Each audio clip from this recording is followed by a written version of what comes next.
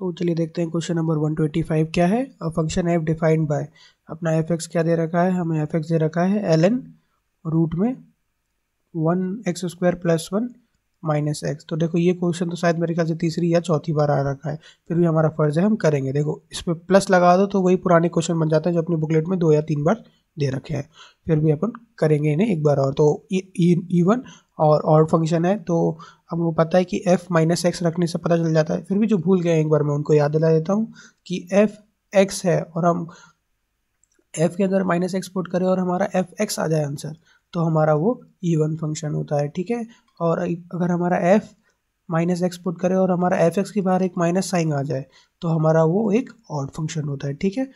Hope so आप सब, अभी तक आप लोग को इस बात समझ में आ गई होगी। तो एफ़ माइनस एक्स यहाँ पे पुट करेंगे तो क्या आ जाएगा? एल एन रूट देखो, यहाँ माइनस एक्स पुट करोगे उसको होल स्क्वायर करोगे तो क्या आ जाएगा? एक्स स्क्वायर प्लस वन ही बन जाएगा।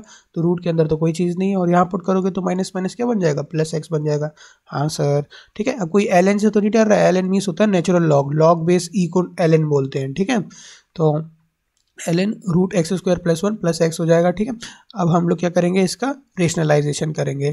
तो यहाँ आ जाएगा root x square plus one plus x नीचे आ जाएगा अपना root x square plus one minus x ठीक है? और इसी का हो जाएगा multiply root x square plus one minus x का, ठीक है? तो देखो ये क्या बन रहा है? ये अपना बन गया a plus b into a minus b तो ये ऊपर क्या बन जाएगा? A square minus b square तो रूट में एक्स स्क्वायर प्लस वन का होल स्क्वायर होगा तो क्या बन जाएगा? एक्स स्क्वायर प्लस वन ही बन जाएगा।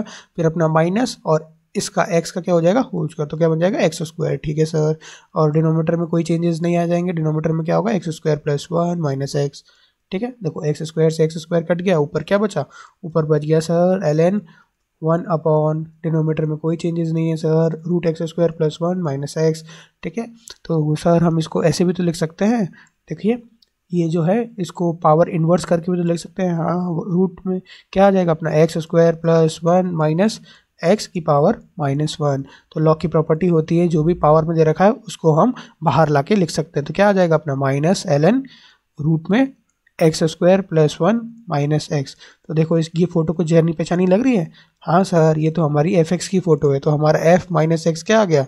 माइनस एफ़ एक्स आ गया। तो ये किसकी प्रॉपर्टी होती है? सर, ये तो हमारी ऑड फ़ंक्शन की प्रॉपर्टी होती है। तो ये हमारा कैसा फ़ंक्शन हो गया? ये हमारा ऑड फ़ंक्शन हो गया। तो हमारा बी ऑप्शन सही हो गया।